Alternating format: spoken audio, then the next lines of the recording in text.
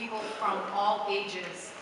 And one of the areas that I have uh, been really looking at lately is the social and emotional needs of gifted kids. And there's a conference we went to last year that was very educational. One of the things that was mentioned at this conference was about kids on the spectrum who had um, glucose metabolism that was variable than other children and seemed to have a crash in their blood sugar at 10 a.m. and 3 p.m. And so there was a glycemic dysregulation, and these kids will be called bipolar.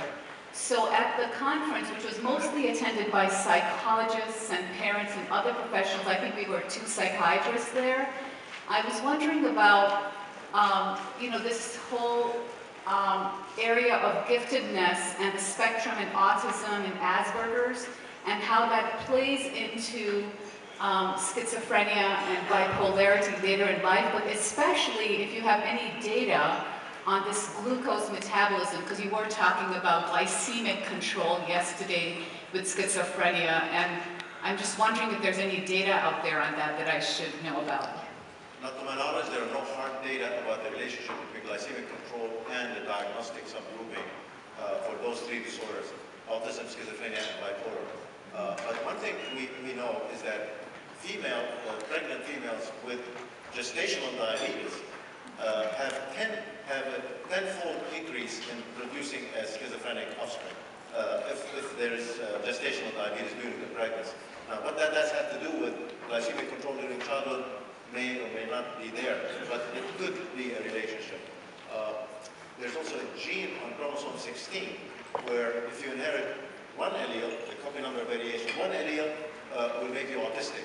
If you inherit three alleles, it will make you schizophrenic or bipolar. If you're two, you're normal. So again, showing that some, some those three disorders do share uh, some gene. That gene, by the way, has to do with brain size, uh, inhibiting brain size. But like I say, I have not seen any study of children.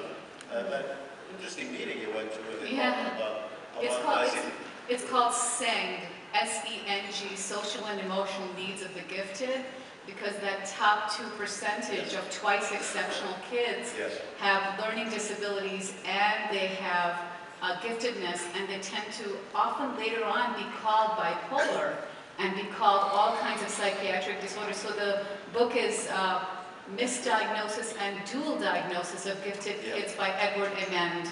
Well, I'll tell you Um, about giftedness, uh, a good study about giftedness, which is more common in bipolar, as you're right, Yeah. uh, as in childhood and adolescence. But a large study in Sweden with 185 students, high school students, they followed them up over, over 10 years after graduating from high school and found out who became schizophrenic, who became bipolar.